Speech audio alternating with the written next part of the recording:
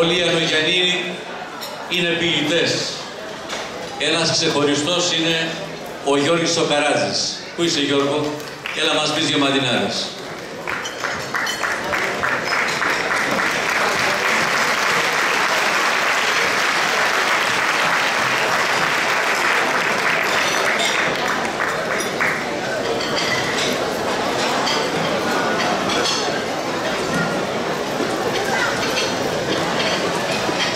Δύο ποιητικά λόγια.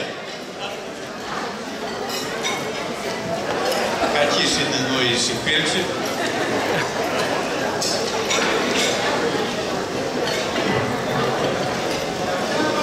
Καλησπέρα σε όλους σας. Έχουν υποθεί πάρα πολλά πράγματα απόψε για τον Πιλτιάδη Καράτζη, έτσι που ελάχιστα πράγματα έχω να προσθέσω, ενώ και το γεγονός της συγγενικής μας σχέσης κάνει για λόγους διοντολογίας τα πράγματα ακόμη πιο δύσκολα. Έτσι κι αλλιώς, για την επιχειρηματική του δραστηριότητα, είναι γνωστά αρκετά πράγματα και ασφαλώς είναι άλλοι καταλληλότεροι από μένα για την ανάδειξη αυτής του της πλευράς. Ο Μιλτιάδης Καράτζης είναι το πρότυπο του σύγχρονου επιτυχημένου επιχειρηματία, αλλά πίσω από την αλήθεια αυτής της εικόνας κρύβεται μια άλλη εξίσου σημαντική αλήθεια. Η αλήθεια του αναλύωτου, αρχαίγονου, παραδοσιακού χαρακτήρα που κουβαλεί μέσα του και που έχει τις ρίζες του σε παμπάλαιες κοινωνικές καταβολές. Ο χαρακτήρας του απλού ανθρώπου, αλλά συνάμα του τολμηρού, του ρηψοκίνδυνου, του αποφασιστικού. Θα μπορούσαμε να πούμε εδώ και του εγωιστή, με την καλή παραγωγική έννοια.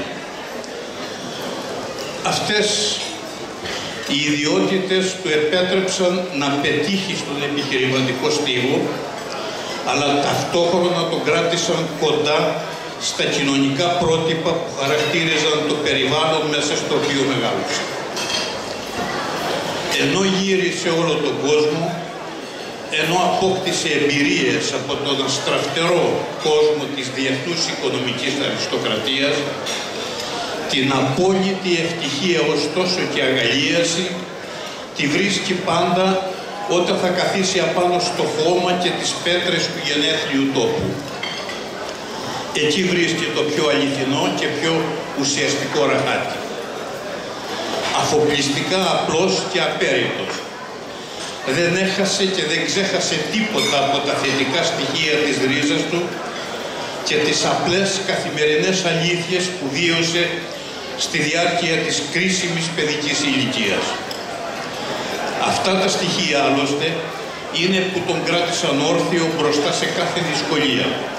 Αλλά κυρίως αυτά είναι που τον κράτησαν μακριά από κάθε είδους έπαρση και απρόσβλητο από την αλαζονική μέθη που προκαλεί συνήθως η οικονομική και κοινωνική επιτυχία διατηρεί ολοζώντανο το παλιό μοντέλο του περήφανου, φιλόξενου, αλλά πάνω απ' όλα του χουβαρντά ανθρώπου.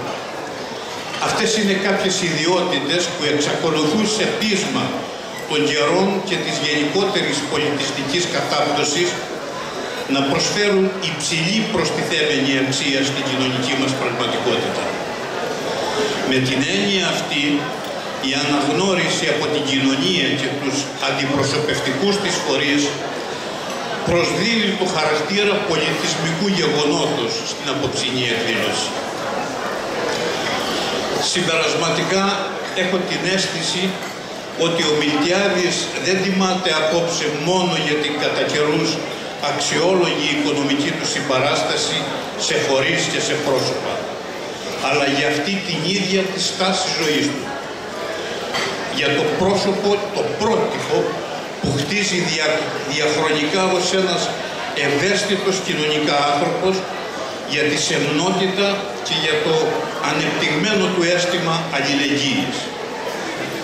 Σημαντικό είναι και ιδιαίτερα παρήγορο ακόμη το γεγονός ότι τα παιδιά του, η οικογένειά του γενικά, ακολουθούν τα ίδια βήματα. πατούν απάνω στα ίδια ζάλα, δηλώνοντας έτσι ότι οι παραδόσεις του τόπου μας είναι πάντα ζωντανές. Έχουν μέσα τους την ευλογημένη εκείνη δύναμη να κρατούν αμάραγες και να θρέφουν τις αληθινές αξίες που έχει ανάγκη η κοινωνία μας.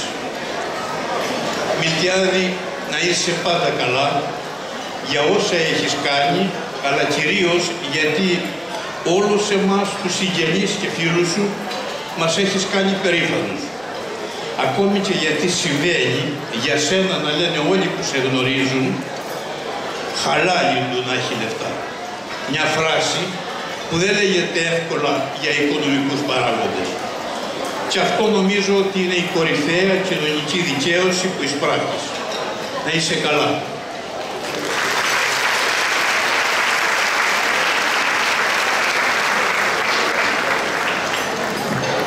Θα ήθελα τα μέλη του Συλλόγου να έρθουν πάνω.